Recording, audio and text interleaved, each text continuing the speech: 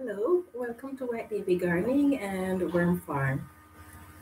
Today we are going to be discussing what is your next plan for your your next garden project. For many of us, the growing season will end pretty soon, while for others, they might have quite a few months remaining. So, as the season nears its end, there is so much that needs to be done. And so, please feel free to share what your next project is. For me, I have quite a few projects that I that are lined up. Um, hopefully, I can get them done within September. At least that's the plan because there is a ton of other things that needs to be done for October. So the things that I'm going to be discussing today are the things that I hope to get done for this month.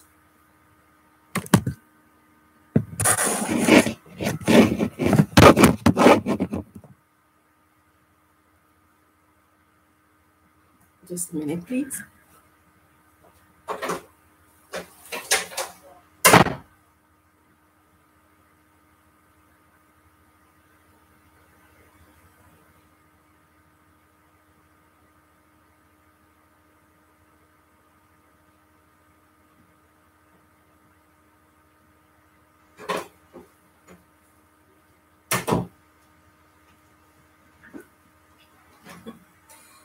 Hi, Han White. Yes, sorry about that. yes, so we're discussing what it is that what is your next garden project? If you have more than one and you feel like sharing, please go ahead and do so. One of the purpose for this discussion is not just to talk about what we intend to do next in our garden, but it is to share what we are doing so that in case there are people who are new to gardening, or even if we are seasoned gardeners, sometimes something that another gardener say might give you an idea as to what can be done in your garden, and I can also benefit from you guys and what you have planned in your garden. Hi, her healthy home. Nice of you to join us. Right, so the whole idea of this discussion is to hi healthy Yes, it's to share ideas.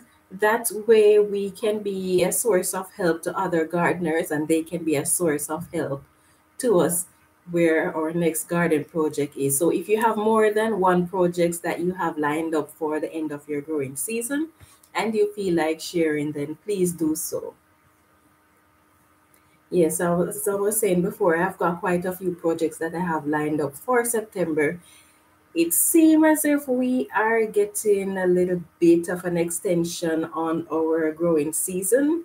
At least I'm hoping that it won't make any drastic changes. But based on what I'm seeing, it's not too bad. So, with that in mind, some things that I'm trying to get done for September includes my garden getting it started out I still have most of my crop in the garden actually.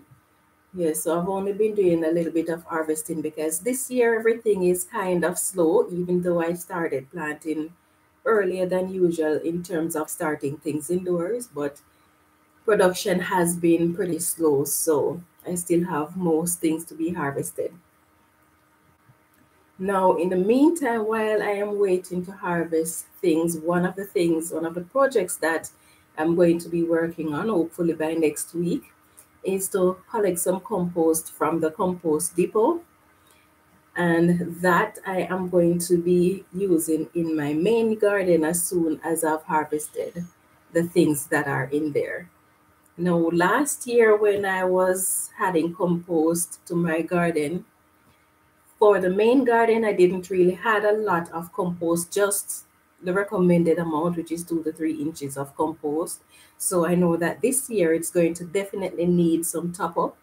And then I had mostly plants that are heavy feeders growing in the main garden. So definitely that's one of my projects. As soon as I'm finished harvesting the stuff from it in the main garden, is going to get some compost. Let's see. And White says, I'm planting my heart autumn garden. Oh, it's nice that you can still be planting at this time. That's pretty nice, yeah. so I'm not going to be collecting as much compost as I did last year because last year I went pretty crazy. yeah. But this year, my um, at the end of the growing season this year, my raised beds won't be getting any compost because last year I had it far more than I actually needed.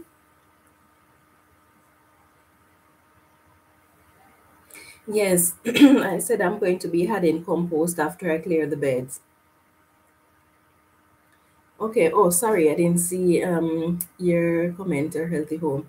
When does your garden season end? My season usually ends sometimes about between August and mid-September. Sometimes we get a premature end because of early frost. So anytime from the end from this month end until about early to the middle of September, it can end. There has been in the past, I think even in 2017, I was still harvesting things in October, but I haven't seen anything like that in a long time. So, yes. So, occasionally we get it extended to October, but it's usually in September that the growing season ends here. So, yes, LP, I am adding compost to the main garden, but not to the raised beds.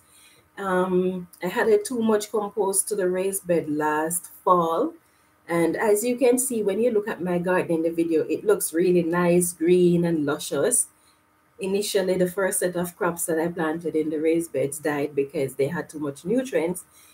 But this time around, the second set of crop tend to be quite luscious. It has a lot of beautiful foliage.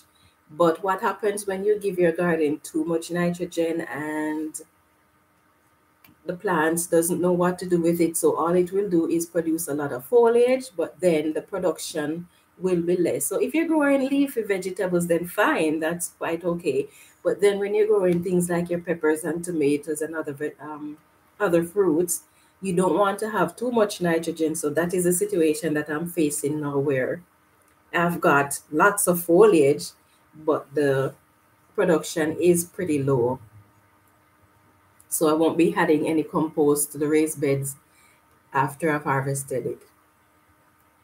Let's see. And White says, just cool weather loving crops like beets, radish, cabbage, pak choy, and lettuce. Okay, yeah. I tried that last year, um, cool weather crop, because it started cooling off. It usually start cooling off here in August. This year is not that way though. Although it is cooling off now, which is the norm because it's the end of the month, but it started cooling off very early in August last year. So I thought, you know, I could start some cool weather crop. And so I started in the last week in July to sow some seeds, but they germinated, but they didn't do well because by the 8th of August last year, we got a really bad frost. So practically everything in the garden died apart from my kale and broccolis.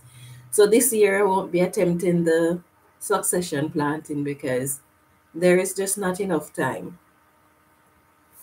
Let's see. LP says, I'm taking note on how things went this season and going to start some greens and such that can be harvested sooner than later. Okay, nice, nice. That's one of my plans too, where the notes are concerned.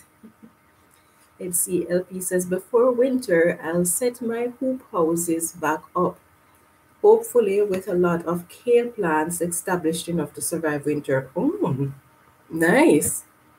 But that's good that you can actually even attempt to have kale growing over the winter. Yes, nothing of the sort can happen here unless you have a heated greenhouse. It will definitely all die off because it's just too cold. Yes, so like I saying, no compost for the raised beds this year. So one of the things, one of the next projects that I'm working on, I'm currently going through my garden and I'm looking at plants that I can see that they're not going to do much. Some of them I've harvested from, some of them didn't really produce anything. So as I go through the garden and I see these, the goal is to get rid of them because all they're just doing is taking up space in the garden and using up whatever nutrients can be left for next year's crop and also reducing the aeration between the plants. So I'm getting rid of those. And then another goal that I have for this month is to try and set up some, well, at least to calculate what it would cost to actually turn my entire garden into a poly polytunnel. So I would have several of them. So where I have a group of raised beds together, I'd create one polytunnel for that. And then for my main garden, I'd do a polytunnel for that. And then you get the idea. So I would like to calculate how much that is gonna cost. I know it's going to be super expensive. So the idea is just to do the calculations for now and to see if it is feasible. And it is something that I would like to get started on. I know I won't be able to afford to do all of it all at once, but then to just do it in stages so I can actually set up the framing, because that is the most important thing at the moment to have the framing done. Let's see, LP says, last year I had two plants survive, but they didn't grow. Aww. I saw them late in fall. So I'm hoping that if I start with bigger plants, they'll do better. Or at least there will be more to harvest. Okay, good, good. Hopefully it works this time around. And White says, I'm sorting out my herbs garden before it gets cold. Okay, good. LP says, Whoa, that would be awesome. Would the tunnel stay up all year? The framing for the tunnel would stay up all year for a certainty. Um, the main idea, the main reason why I would consider putting up a poly tunnel is because of the amount of pests that I've had to deal with. And then to create covers for individual raised beds can be a bit cumbersome. It's easier but then it can be a bit cumbersome to having to remove the cover every single time you need to access the plant or the garden. So for that reason, I'm thinking if I could do poly polytunnel over individual section, section, sections of the garden. I can't even talk. yeah, so that is the main idea. So what I want to do is create it in a way I have the framing, create the framing and have it set up where I can interchange the fabric that is used to cover it. So if I want to start my plants early, then I would put plastic over it as opposed to the polytunnel material. And then the plastic would act as a greenhouse and provide heat for the early plants. And then if, if it's just for pest control, then I would just use the polytunnel fabric. I'm still going to have to research what is the best fabric to use for that. Okay, let's see. LP says, I need to get my herb situation figured out too, as I like to have some inside for the winter. Yes, that's a pretty good idea. Let's see, one of my hoop houses will have two layers of plastic. Only trouble is this blocks lot of light. Okay. Yeah.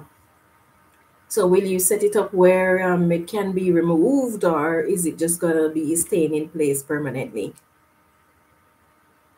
Yes, because I know it will definitely block a lot of the light and I don't necessarily want to be blocking the light all the time. So if it is a situation where I can manage my pests, then naturally I would keep the covers off. But if not, then I would keep it covered. I do rather having my plants out in the open because they just perform a whole lot better. But pests can be so much of a challenge sometimes. let's see. And White says, that sounds great, Whyte Davy. I am going to make covers for all my bigger containers. Awesome. Let's see. Because I had a lot of trouble with pests this year. Yes. we certainly suffered this year where those nasty little buggers are concerned. LP says, I built inch hoop house so after I put the plastic on, I can lift the top by a handle. I follow instruction from James Prigioni. Okay. Um, the problem that I have for my small raised beds, it, it's quite easy to build um, a regular cover for it that I can just lift when I need to access the plants. But then some of my raised beds are like 16 feet long so unless I'm going to be doing the covers in individual sections, then it's going to be a bit of an hassle to be to access the garden if I have to be lifting a 16 foot long cover. And then the thing is, if I build the covers in section, I'm kind of concerned as to what will happen. Um, how do I seal it so that nothing can get into the section it might require more fabric to do that, more framing material and more fabric to do it that way. But we'll see. Yeah, so I'm still thinking about it whether or not to just build cover for each sections and or to do it in a polytunnel fashion. So I'm going to be calculating both of them and see which one is more feasible and then that's what I'm going to be going with. Yes, but whatever I'm going to be doing, it's not something that is going to be completed in a year because it's quite a bit of a garden here and it can be expensive. So I just I'll just be doing it pretty much in stages. Let's see, and why it says yes, LP. LP says they will be covered late fall to spring then I'll take the plastic off. The structure is still there if I want to add mesh rest of the year. Oh, okay, good. Yeah, so it's quite a lot. It's quite a lot to get this done, but we'll see how it goes. Yeah, 16 feet is quite a bit to get to create a cover for and most of them are in that region 10 to 16 feet long so can be cumbersome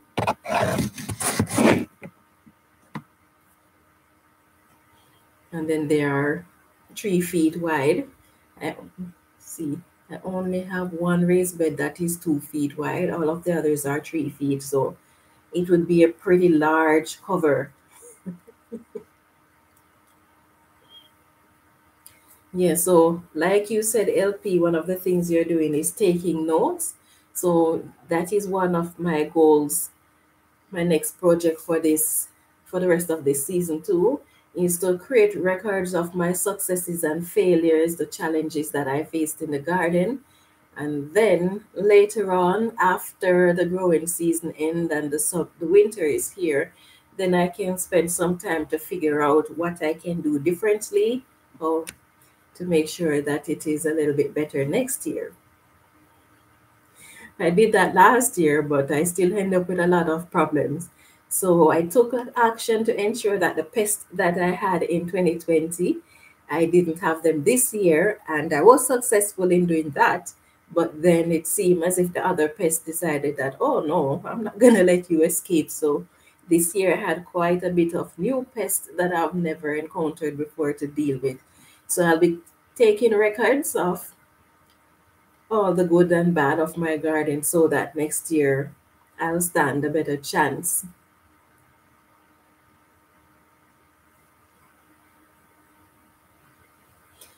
Yes, and definitely one of those things that's going to have to be on my record is to remember not to add too much compost to my garden because it's not really worth it because now I'm here waiting for my harvest and I'm just getting small amount of production in comparison to previous years when I didn't add that much compost. Okay, so the next thing, the next project that I have that I am working on, I actually started on it already, is to harvest and prep my seeds for storage. So there are quite a few plants that I'm hoping to get seeds from. So far, I've harvested a few different types of lettuce seeds and my chrysanthemum seeds. So now I just have to dry them, process them, and put them into storage. But then I have other seeds that are just starting to come up, so I have to wait on them. I'm just hoping that at least the growing season will be a little bit longer so that I can at least get some seeds from my other plants. Let's see. LP says, I let a lot of volunteer plants grow that I can think that I think I shouldn't have. So I will need to remind myself of that next year. And I want to save a lot of seeds this fall too. Nice. Our healthy home says, great. Thumbs up. I save more seeds this year myself. The only problem is it can it gets tedious. Yes, that's true. It gets tedious sorting out those seeds especially if it is like those lettuce seeds that there is so much that you have to do to get them sorted out. But it is worth it, especially if the harvest that you've had this year is a really nice one, nice, large, nice tasting fruits or vegetables, then you want to save your seeds. And sometimes if you're growing a small garden, then it's no it's not really a bother to go and buy a few seeds. But then sometimes based on the seed packages, you might get just a small amount of seeds in a package and you have to be buying lots of packages. It can be a challenge and it can get pretty expensive. So yeah, saving your seeds is definitely worth worth the effort. Let's see. And White says, I have a few seeds that I am waiting on too. Okay, good. What do you do to get rid of the debris? You mean the debris on the seeds? Yes, that one can be a bit tricky and sometimes it's difficult to get rid of all of the debris, but you might be able to get rid of most of them.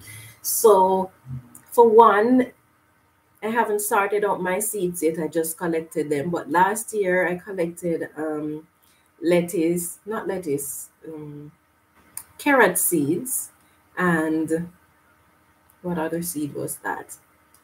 Pak choy. And for the carrots, the debris is extensive. So I would put it on a container, allow it to dry on a open something flat surface and allow it to dry. And then I would use a fan to just gently blow the debris away because the debris tends to be a bit lighter than the seeds and and I also sift the seeds because some of the debris is fine enough that it can actually go through this sift without the seeds falling through. Yes, and sometimes I do a combination of both. But if you're going to use a fan, you want to make sure that it is on a low speed and you want to make sure that you keep it a good distance from from the um, from the seeds because you don't want it to blow everything away. So it can be tedious. This year is the first year I'm harvesting lettuce seeds though. And that one seemed to be, seem as if it's going to be tricky. So we'll see how that one goes. yeah, it can be tricky.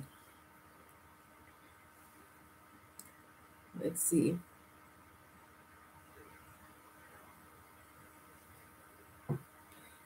And White says, I'm saving beet seeds, but I'm taking a but it's taking a long time to dry. Can't you just wash the seeds? I would not encourage washing your seeds because one that can encourage mold or fungus to grow on your seeds and it may encourage your seeds to germinate before you're ready for them. So I would not recommend washing seeds. I don't know if anyone actually washes seeds. I've never looked into that, but these are some problems that can occur if you wash your seeds. It will it can germinate early or it can encourage mold on your seeds. So it's it's gonna take a while for the seeds to dry fully, but at the same time, waiting is going to be worth the effort, especially as long as you have the space where you can spread the seeds and they won't be getting in your way. Let's see. LP says, How do you store your self harvested seeds? Um, once I get my seeds dry, I just store them the same way that I would store any other seeds. I just get a paper bag or make a paper envelope and put them in there and seal them. And then I just put them in a container with all my seeds and cover them. That's all I do.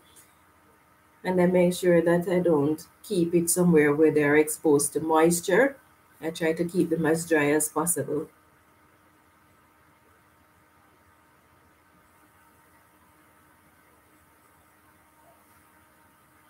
Let's see.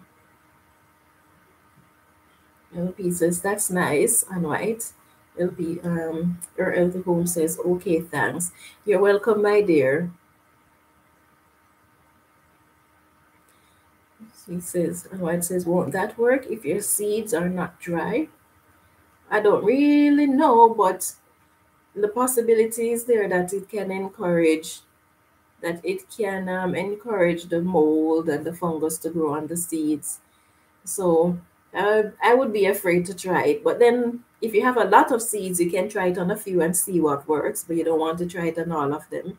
But you could try washing a few of them and see if that helps. Let's see. Uh, her healthy home says she's collecting dry seeds from herbs. Yes, that one I have to do yet. Uh, my Italian basil is actually seeding up, so I need to collect some seeds from that. And I have my mint that is producing seeds as well. So I may collect seeds from those. Well, that depends because I'm going to be going through the seeds that I have from this year that I did not plant and see if I need to be saving any of the seeds. Because if I have seeds already, then I wouldn't. Hmm, maybe I should still save the seeds so that I can have it for next year. Yeah, yeah, depending on how much seeds I have. But yes, I have quite um, my mint and my Italian basil that is producing seeds at the moment. My um, my spinach that bolted quite early they are seeding up as well. So I've got quite a bit of harvesting to do. I'm not sure how to harvest the spinach seeds because they seem to just be in little clusters. I'm not sure what to do with them yet, but I'll figure it out. Let's see.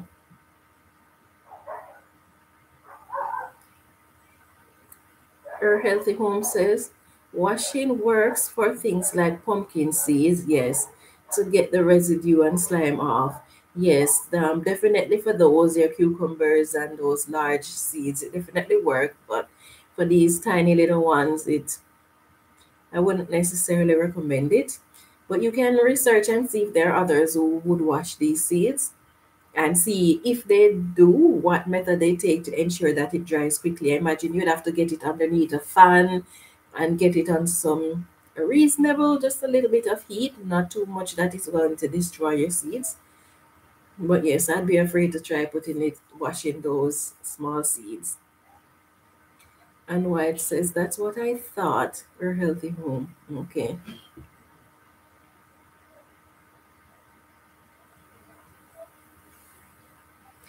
Her healthy home says something and white doesn't know sorry, sorry, something Whyte Davy doesn't know.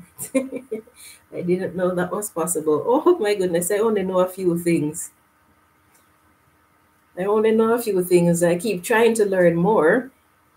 Yes, I keep trying to learn more, but I don't think I'll ever be able to know everything there is to know, not even if I get to live for eternity.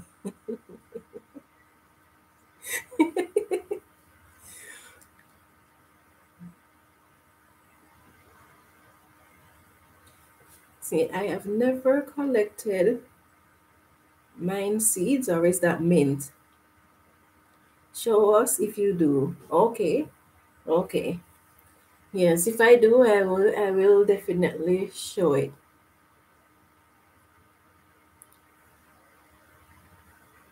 Let's see, our healthy home says, I saw this method where you let the seeds fall into a container and the wind blows the shaft. Yes, that that one is pretty much very effective. I just love those plants though that you can just harvest the seeds and you don't have anything to worry about. You just shake the plants and the seeds fall off and they come in nice size pods so that it's not really difficult for you to separate them from the pods. But nothing is always easy, so yes. Yeah, so another one of my projects for this month is oh hi pit stop. How are you? Yes another one of my project for this month is actually to get my seedling trays and flower pots cleaned. Yeah so i don't really have the time to wash them and scrub them at the moment. So i'm thinking i'm just going to empty them and i've emptied most of them already but i still have a few more to go so I'm just going to get a large container and put them in bleach water and just let them soak for a while, rinse them out, and then eventually, if over the winter I can find the time to wash them, dry them, and put them back into storage. But for now, I'm just gonna soak them in bleach water, get rid of most of the dirt, and make sure I'm killing the bacteria. But I'm going to have to be careful not to have it in the bleach water for long because that too can go stagnant and create more bacteria in there. So that is one of my goals. Yes. So, and then for the potting soil that I'm going to be throwing out of these seedling trays, those I'm not going to discard. I'm going to be sterilizing them. Let's see. Her healthy home is saying hi to Tina. And Han White says, I'm saving carrot seeds for the first time. Okay, good. I tried to, I um, what is that? Regrow beets this year to see if it would produce seeds because it is also one of those biennial crops. Um, unfortunately, did not produce any seeds. In fact, none of my beets did well. I only have that one plant that I tried to regrow the beets. Everything else germinated and nothing made it past an inch. So there you have it. But I'm still going to keep that um, one beet that I have. I'm going to put it indoors, overwinter it, and see if maybe maybe it will still produce some seeds. Oh, um, and White says yes because of your finger. Yes, um, because of my finger, I cannot wash the containers just yet. Hi, vermicompost, learn by doing. How are you? Let's see, my basil reseed itself, but the lettuce seeds, I never know when to harvest them before they disperse in the wind and spread where I don't want it. okay, yes. Um, it's a good idea to harvest it just when you see it start sending out those little fuzzy, those little fuzzy things like you would see on the what's that weed called? Dandelion. Yeah, so just when you see it start producing those little fuzzy things, then that is the best time to actually harvest them.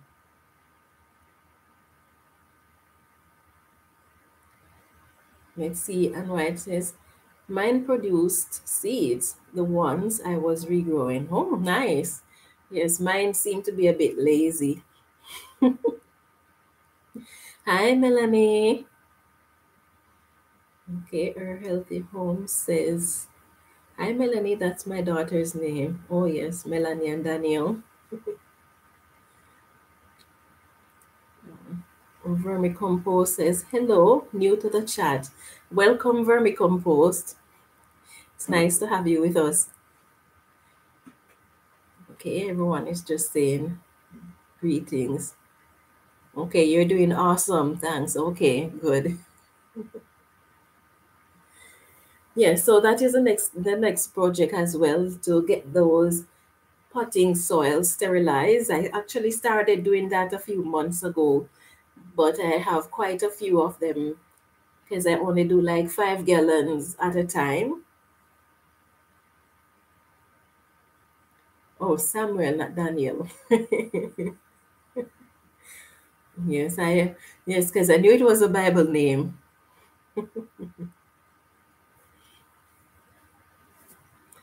yeah, so I'm gonna be getting my potting mix sterilized. I'm going to be using hot water because of the pest problem that I had last um well not last year but in spring. So I'm going to be using hot water to sterilize the soil and of course doing so is going to be destroying a lot of the beneficial life forms that are in it. So I will just have to revitalize it with some finished compost and castings.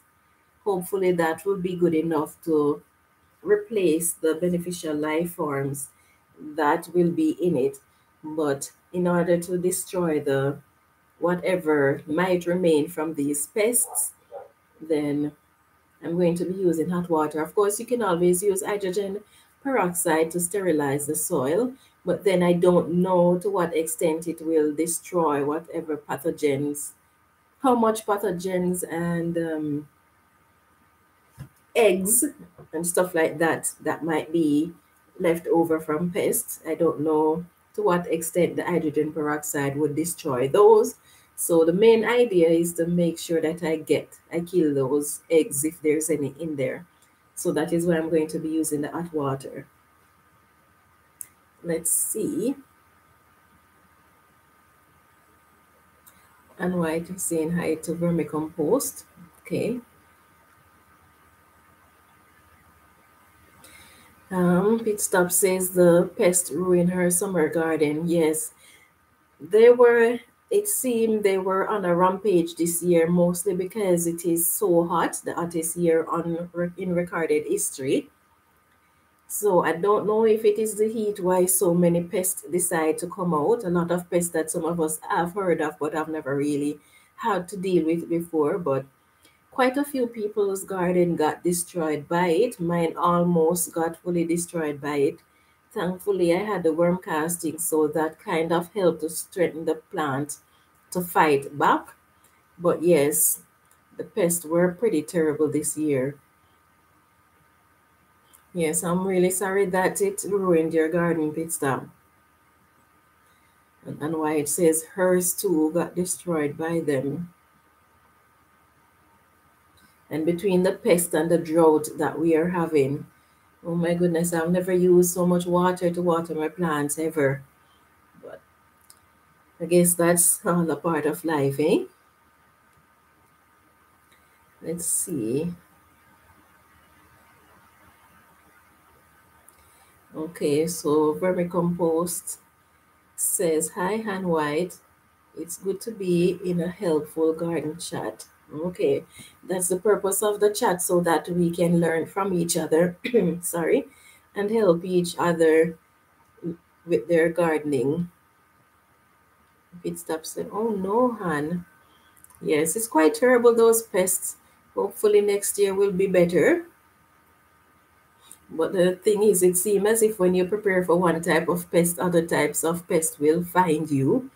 So we just always have to keep learning and trying to adjust and to deal with those pests as soon as they come. One advice that I keep repeating on the live is that when you see creatures and you don't know what they are, We don't want to be destroying the ones that are beneficial, but it is good to start doing research on them. If you don't know what they are, uh, take pictures, put it on whatever social media you can find, ask around what it is, because if you delay, then you could end up with an outbreak of pest that you cannot get under control once it has gone bad. So, again, it is a good idea once you start seeing insects or any abnormalities on your plants that you're not used to, do research as quickly as possible to find out what it is because the sooner you act, the sooner you can get things under control. Let's see. Her Healthy Home says, I had so many arm armworms this year. Oh, yeah. I'm sorry you had to endure that. Yes, I think my two biggest pests this year was the leaf hoppers and the um the leaf hoppers and which other one? The the cutworms. And then for the leaf hoppers, because they spread the curly top virus, then it just makes everything terrible because I didn't even know I um I didn't even know I saw the leaf miners, the leaf miner flies, and I saw the leaf hopper, but I didn't see any damage for a little while, so I was watching it because I didn't know if it was a beneficial insect, yes or no, and I didn't want to destroy it and then find out it was beneficial. So because I delayed, then I end up with the curly top virus spreading to pretty much all of my plants. So that is why I'm encouraging you guys to make sure that you do research when you come across insects and creatures in your garden that you do not no. Let's see. Vermicompost says, glad to know it's not just me with the pest. Squash bugs got my garden bad, but my worm casting kept the aphids way down. Okay. Yeah, sorry about the squash bugs, but at least the worm casting was able to help you get some things under control. And White says, I was teaching for face to face for seven weeks, so I didn't have time to check the plants as I normally do. I had aphids and whiteflies. Yeah, um, it is it is a challenge keeping up with our day-to-day -day activity and still monitor the garden. It can be pretty tricky. Yes, and especially if you have to work away from home, because when you're home, if you're on your lunch break or a coffee break, or you want to take a five, you can always just run through the garden and monitor a portion of it. But when you have to work around away from home, it is even more of a challenge. And sometimes you are at home, but it still is challenging because you might have kids to deal with, or whatever the task is, you just have so much to do that it can be tricky. But sometimes where possible if it is even just five minutes and to monitor even just a section of your garden it is well worth it because then you can see what's going on yes um, this year i had potato the colorado potato bugs for the first time i didn't even know what they were when i first saw them i saw i just saw that one of my potato leaves was being eaten. So I started searching on the leaves to see what it was. Didn't find anything, so I started searching the root of the plant. Saw this bug. I didn't know if it was good or bad, so I put it in a container and gave it some leaves just in case it is something beneficial. But then I started asking around and learned that it was the potato bug. So I destroyed it, and every day I go out and monitor until I was able to find all the bugs that were there. I found their clusters of eggs and destroyed. And within a few weeks, I didn't have any problems with them after that because I was able to get it under control only because each day I go out and monitor it. So it's a good idea as long as it is possible to go out and monitor your garden as much as possible. Let's see. And White says, I had aphids and whiteflies. Okay. And Her Healthy Home says, I try to identify first, but if it stays getting away, I might panic and take it out just in case. Yes, I know the feeling. yes, I know the feeling. Um, Her Healthy Home. Pit Stop says it was thrips for me. Oh, Yeah, those the buggers. And then the sad thing is that these pests, when you spot them very early, it's not too difficult to get them under control. But when if that if you don't spot them on time, it, they can get so out of control. And then for some of them, there are certain treatments that just doesn't work because over time they get used to it. And so that is why I keep encouraging people if you have a pest issue, and say for example, you use a particular type of pest control this time around. Don't use the same thing the next time around. Try to use something else. Rotate what you're using to control the pest because they do adapt to it. And once they adapt, then there's not much that you can do. So it's a good idea to rotate whatever type of pesticides, organic or otherwise, homemade or otherwise, that you're using so that they don't have the chance to get too accustomed to it.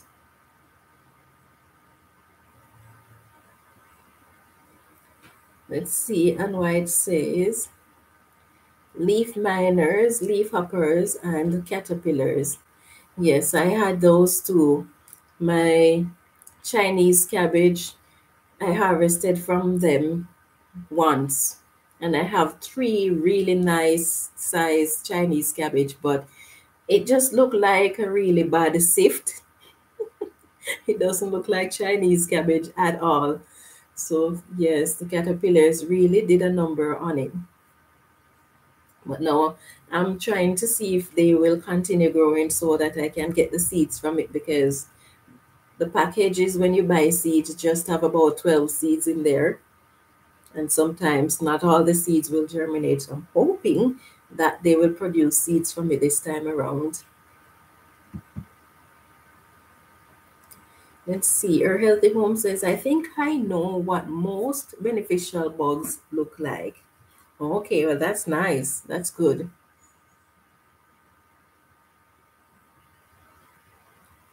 Let's see. And White says, Pit stop, I've never seen thrips and I only knew about them after watching your video. Okay. And White says, I started killing everything that moves. yeah,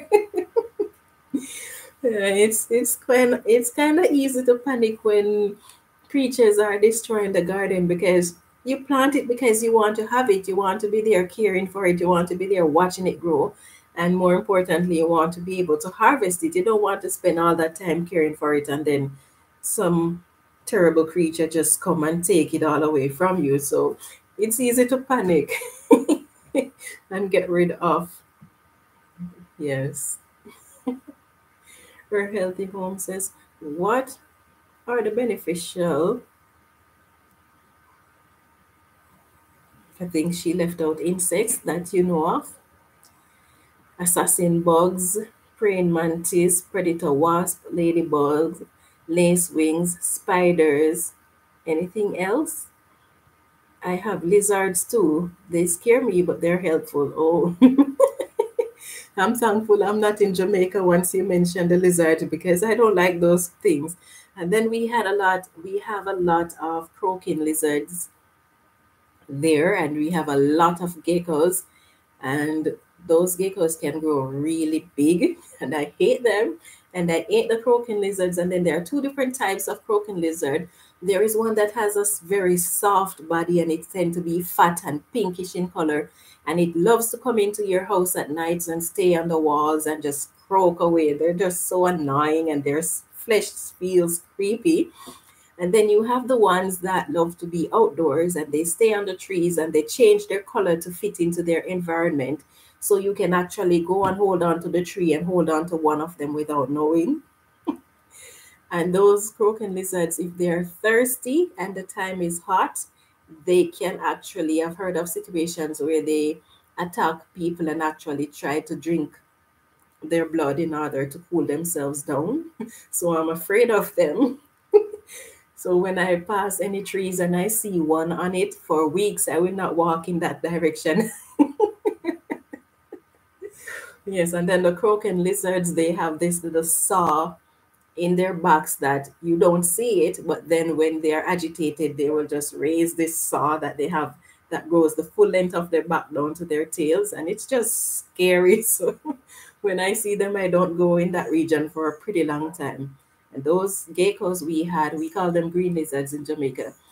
We had a lot of them in one portion of our yards because we had a huge rock, maybe the size of two upstairs boxes and we had trees close to it and the rock the geckos live in it. Oh i don't even like thinking about it. That was just i love climbing on the rock. It was fun but those geckos really scared the hell out of me.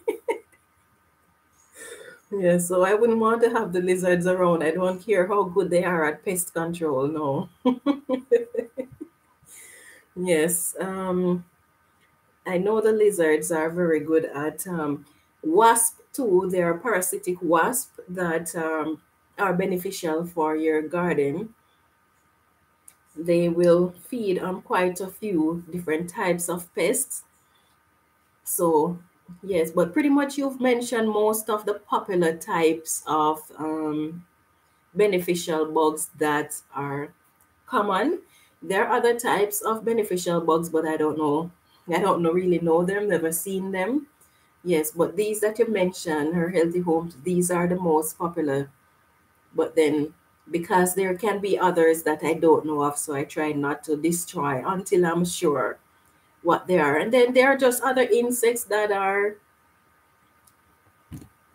pollinators, really. So they're not really going to harm your plants and they're not going to be feeding on pests in your garden either.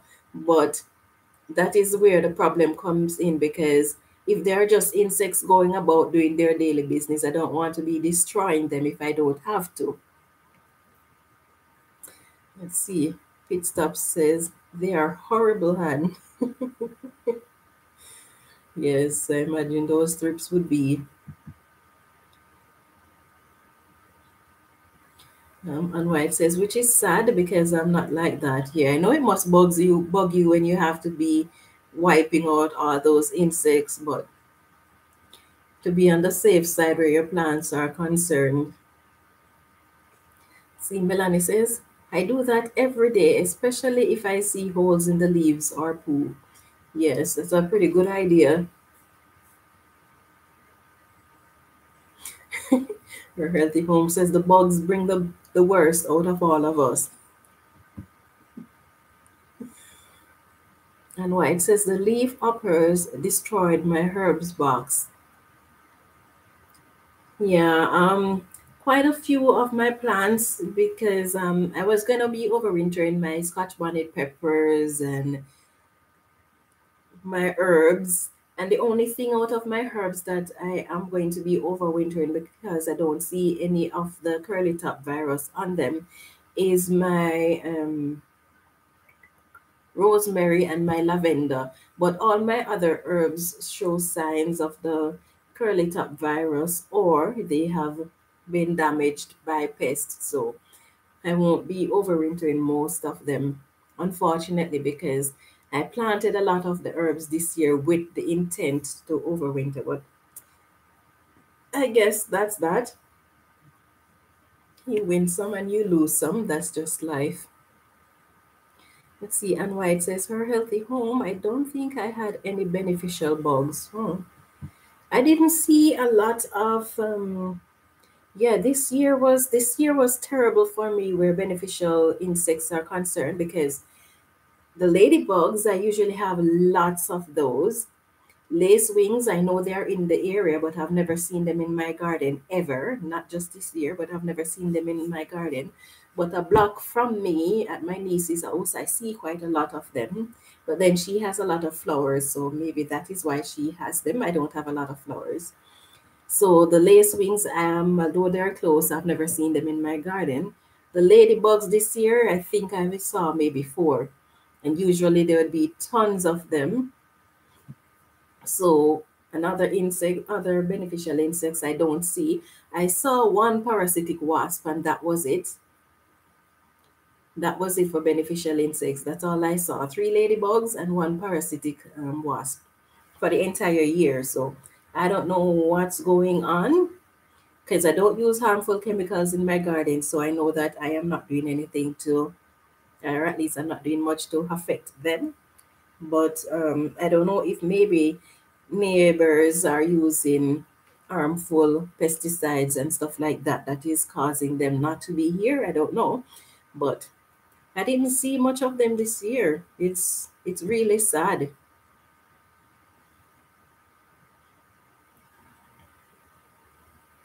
Let's see. Melanie says the only thing I don't kill is the ladybugs. uh, her healthy home says, wow. And White says, I know ladybugs, ladybirds, and so and those I don't kill, and I do think they are pretty. Oh, yes, and I have birds. Birds are also beneficial in the garden. I had lots of those this year.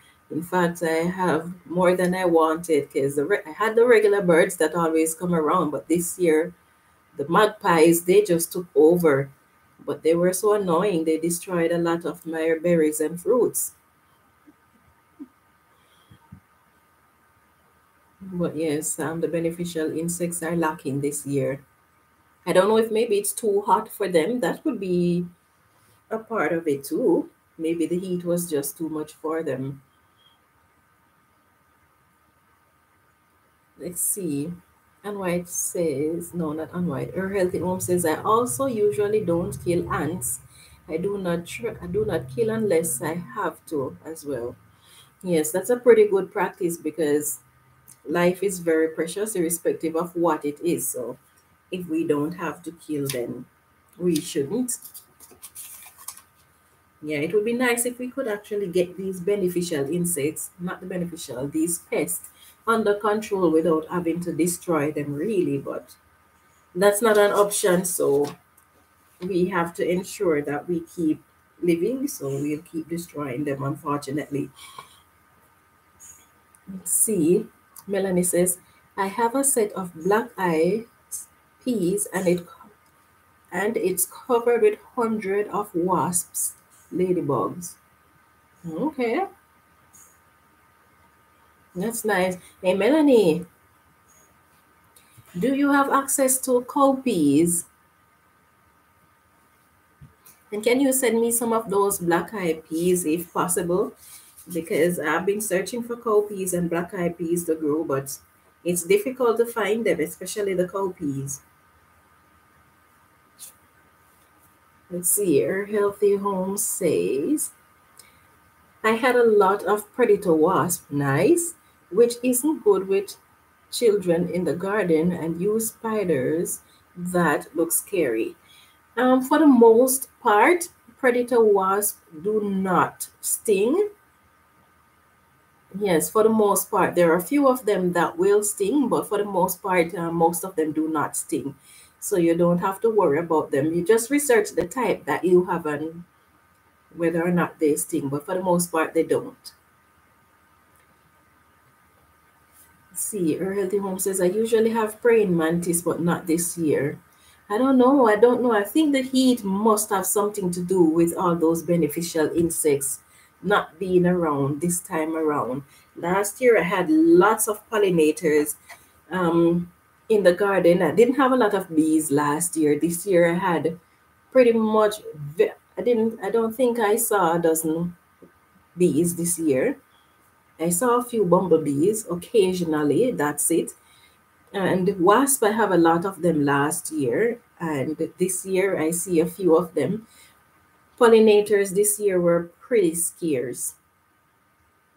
Yes, so I attempted to grow some flowers because last year I didn't see the bees, so I thought, okay, I need to invite them back. So I attempted to grow some flowers this year, but I failed. Just a few of them germinated and they took forever to flower. So, yeah, but I'll try again next year with that. We'll see how that goes. And White says, I'm overwintering my herbs and peppers. The herbs will be outside. Okay, good. It's nice that you can actually keep your plants outside. Well, some of your plants outside for the winter. I'd be ecstatic if I could. LP says, I have experienced pest pressure this year. However, I've seen a lot of wasp and hornet hunting in my plants. I have a lot of weeds, vegetation in my yard. Very overgrown as well as wood logs. Okay. Okay.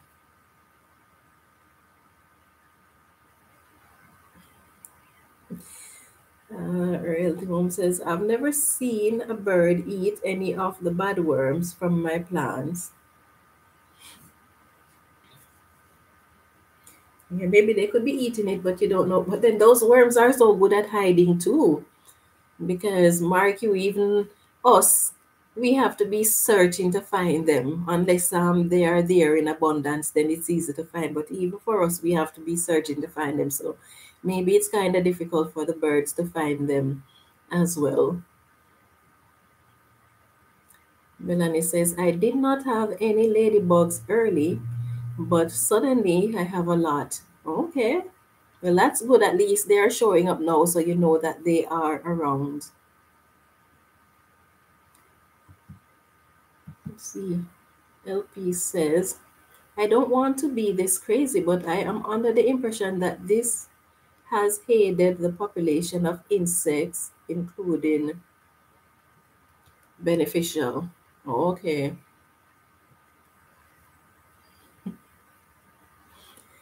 Vermicompost says, I have black ants that eats the early flower part of my loofah plant, so production is way down with them this year. I do notice that the ants this year tend to be all over the plants, and I don't see what they're eating, so I figure they're taking the sap from the plants because it's not as if I see any little insects or anything of the sort that they are preying on, and I don't see aphids because I know that the ants like to work hand in hand with the aphids. And I didn't have any aphids issue, but the ants were there.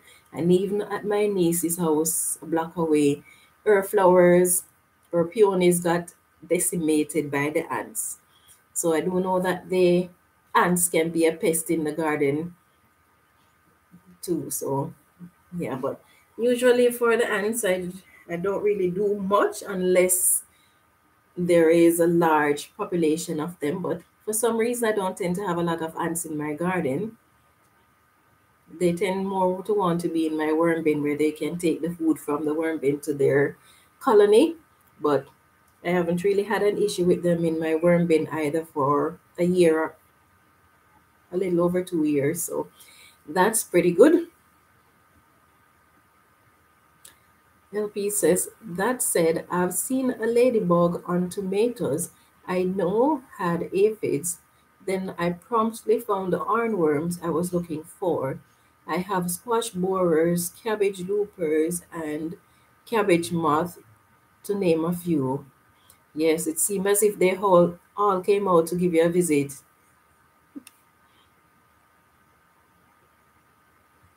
Okay, your kids are scared of them. Okay. That's good to know. My daughter is scared of moths too. Okay. My son is afraid of the wasp. And we tell them when you see them, if they're on you, don't try to hit them or anything. Just be still and let them go away. Hopefully that works. So he saw one on him yesterday and he stood still, but he was just crying like crazy. Yeah, they can be scary because you don't know what they're going to do. Getting stung by a wasp is not nice at all. Her healthy mom says, Oh, it's hard to treat, but it's hard to treat. Put plant flowers without affecting bees. So you use anything? I'm afraid I don't understand that question. It's hard to treat. I don't know if put is what you wanted to say there. Yeah, I'm afraid I don't understand that question, um, a healthy home. LP says, I have a lot of flowers this year. So many bees. Oh, send some of them my way, can you? Definitely recommended growing more. Next year, I will grow more. Yes, I'm definitely trying to inculcate more flowers in my garden because I usually say uh, my garden is too small. I don't really have space for flowers, but then they are going to be attracting a lot of the pollinators. So now I'm trying to make a little space here and there for them. Hopefully that will work.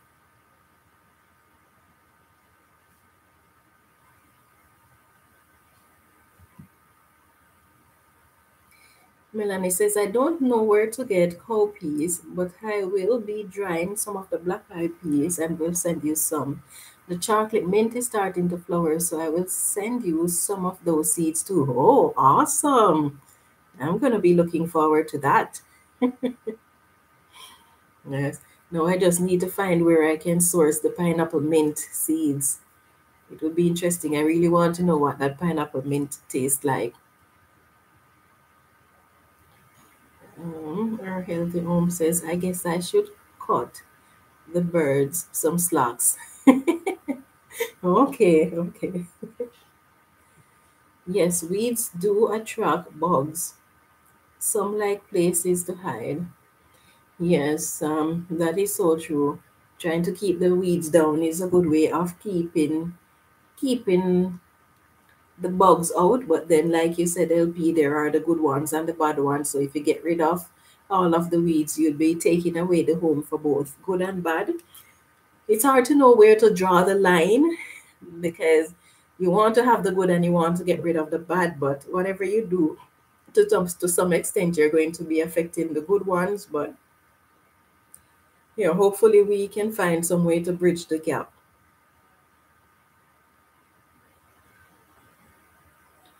And White says, Yes, I had ants all over my black currant. Okay.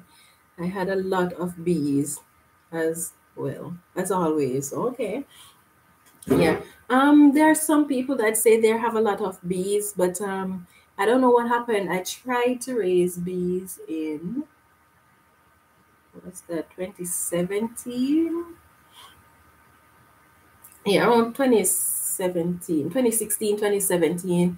I tried to raise bees. I ordered bees and I was waiting. I had to wait a few months for the order to be processed. And then just at the time when I was supposed to collect my bees, they told me, okay, your order is ready, come and pick up. And then they call back, no, you can't pick up the bees. They're not ready. Then there's two weeks later, they say, okay, um, I'm sorry, there will not be any bees. And all bee orders for bees got cancelled. So I don't know what happened because for whatever reason they chose not to say what happened. But since then, I haven't been seeing a lot of bees around.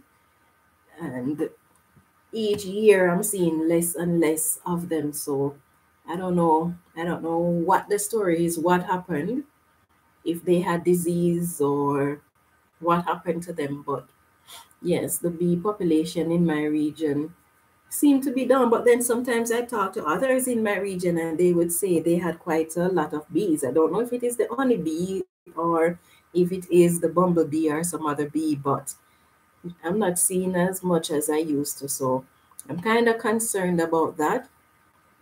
I haven't tried purchasing any since then, so I don't know.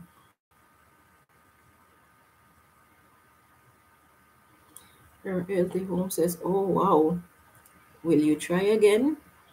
Um, I don't know. I haven't tried since then. There was a daycare next door to me so because there are so many kids. I didn't bother to try again, but um, the daycare closed this year, so maybe, maybe I will try again. But if I'm going to do that, I will have to keep into consideration where I'm going to be keeping them over the winter now that I have turned my garage into my worm farm and I don't think I want to be in there with the bees flying around.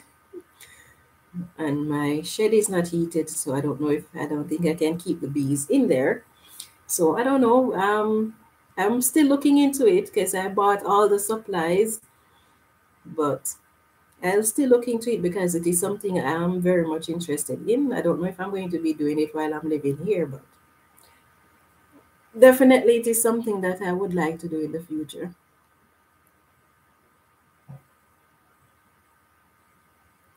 LP is asking, on white, how are you growing herbs outside? Melanie says, the only flowers I planted is giant marigold all over the backyard. Okay, nice.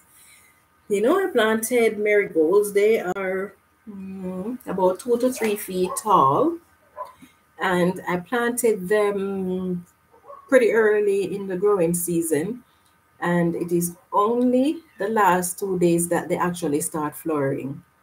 So I'm thinking if if that is how long they're going to take to flower. I don't know if the heat has anything to do with it, if the drought has anything to do with it, or if the curly top virus had anything to do with it, because I know that the curly top virus stunt plants. So I don't know if that has anything to do with it. But if this is how long it's going to be taking to flowering, then I might as well just buy the store-bought ones because those ones are already either flowering or close to flowering. So I don't know if I'm going to be growing them. Maybe I should try a few next year just to figure out if that is what was happening or if it is natural for it to take this long to actually produce flowers. Um, Let's see. LP says, before any of my flowers started blooming, I had weeds blooming in the yard. So I'm thinking it's key that there's always some kind of flowers available. Some wasps are pollinators too. Yes, um, I did see that in a research. Um, so yes, so you're right. LP. So one of the things that I am thinking of doing, oh, I need to jot that down.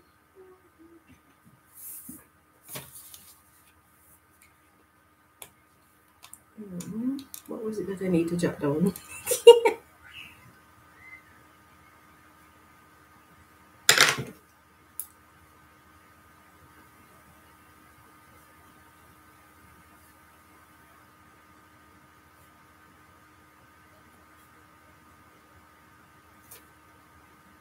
Yes, I need to get myself some flower seeds over the fall. And the company that I buy flower seeds from, they close down pretty early in the season. So I think it's about time for me to get my fall seeds. So what I'm going to be doing is getting seeds for different flowers. I'm going to be researching researching types of flowers that blooms different times throughout the year. Need to write that down too.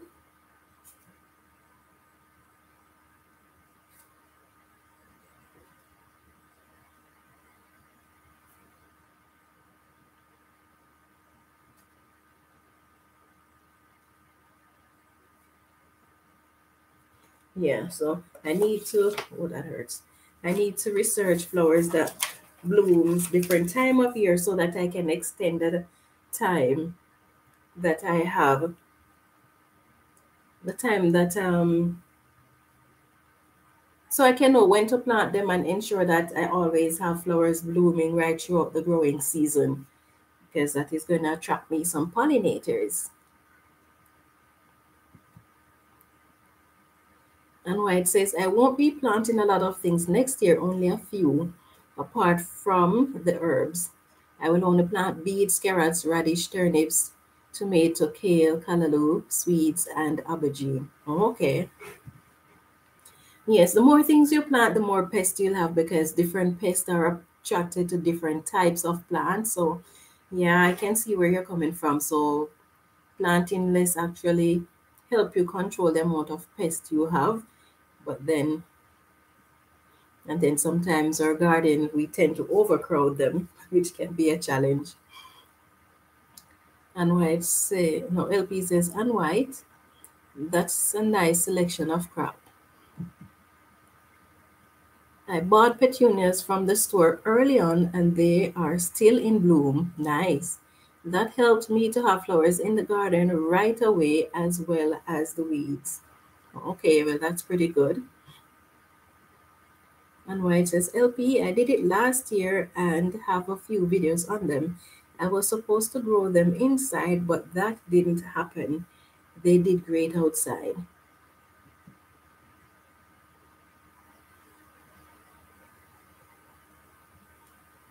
LP says, sorry, my phone has already bad service, so I keep falling out of the actual live stream. Hush, my dear. I will have to check that out, possibly again.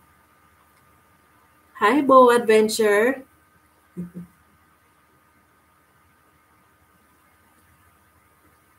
Do a small garden in Thailand. Okay, you, you have a small garden in Thailand. Nice.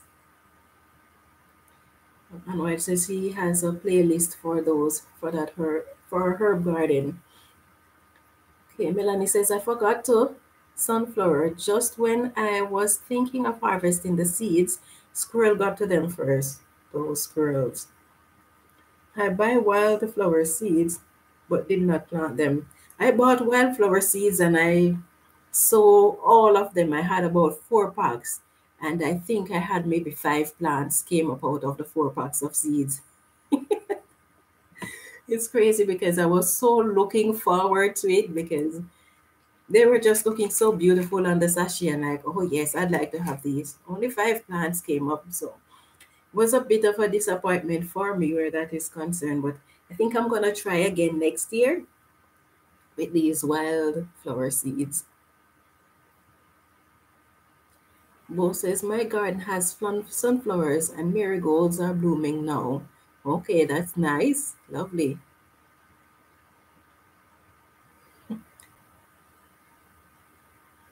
LP says, Yes, I have sunflower and marigold in blooms now as well in Michigan. Okay.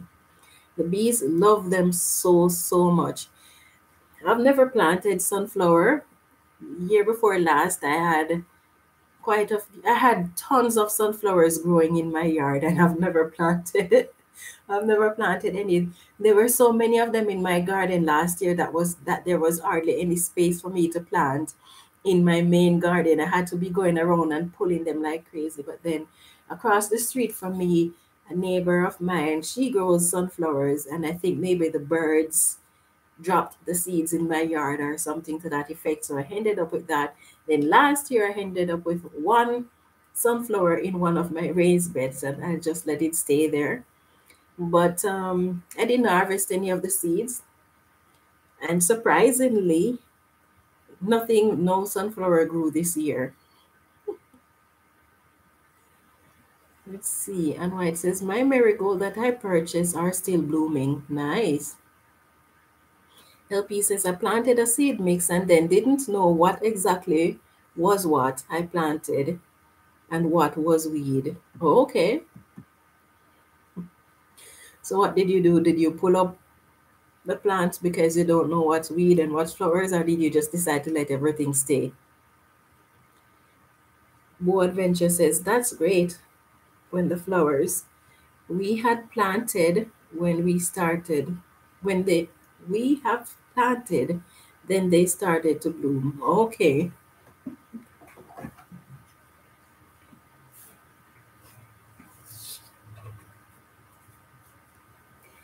Yes, and I think another goal for me, this um, another project for me, is that pretty soon a lot of the garden centers are going to be going on sales um, with garden supplies. So I'm keeping a lookout for that because I want to go and get some of the supplies that are going to be there pretty cheap or cheaper, not pretty cheap because they don't really sell them very cheap, but at least they're going to be cheaper. So I'm going to try to get my garden supply now as opposed to getting them in the spring when they're going to be more expensive.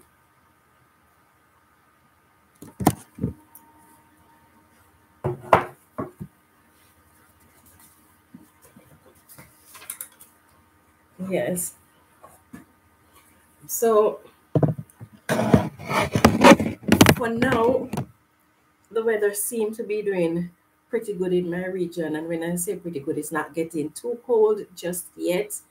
So the plants seem to be okay with that. I'm hoping that we are really going to have a bit of an extension on the season. We can get snow as early as September. So as soon as my garden pots are harvested, I'm going to be covering them because I don't want the snow to fall and then as the weather fluctuates between hot and cold and then it start the snow starts to melt then that can freeze the flower pots so i don't want that to happen so every year i cover them as soon as i've harvested everything from it so that is one of the projects that i'm going to be working on making sure that i get them all covered so that i can have them a bit longer anyway i'm going to be ending the live pretty soon So I'm just waiting to see if there are any other comments. Let's see. Bo Adventure says, and White, I will check your channel. Okay. Do you do videos on um Bo Adventure? Oh, Melanie, you can still plant in September. That's awesome. That's wonderful. I like that. I probably need to move out to where you are. so when you plant in September, what type of things would you be planting in September and um, how long before you can harvest? See, and White is thanking Bo Adventure. Okay. Yeah, how long before you can harvest? That would be so nice if I could still plant in September.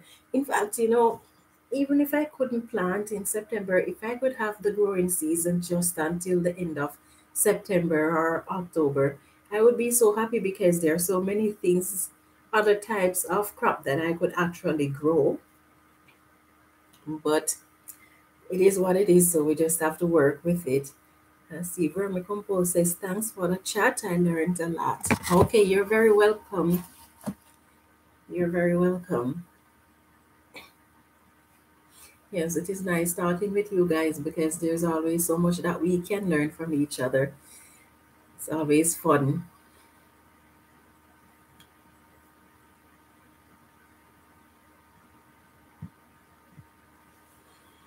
Yeah, so I'm going to be getting myself something to eat now. I haven't had supper yet. It was ready just in time for the live to start. And White says, great live. Okay, thank you, Han White. Yes, I do. I did enjoy it. So thank you guys for sharing all your experiences with with me. Let's see. Melanie says she can grow just bok choy, beets, and kale. Okay, just cool weather crop. LP says yes, it has been a nice chat. Great topic. Okay, so thank you guys for being here and for your participation. I had fun. I'm sure you guys do too, and I learned quite a bit from you guys as well. So stay safe, and I hope to see you again on Friday, where we'll be discussing our worm farming Q&A. So stay safe and happy gardening.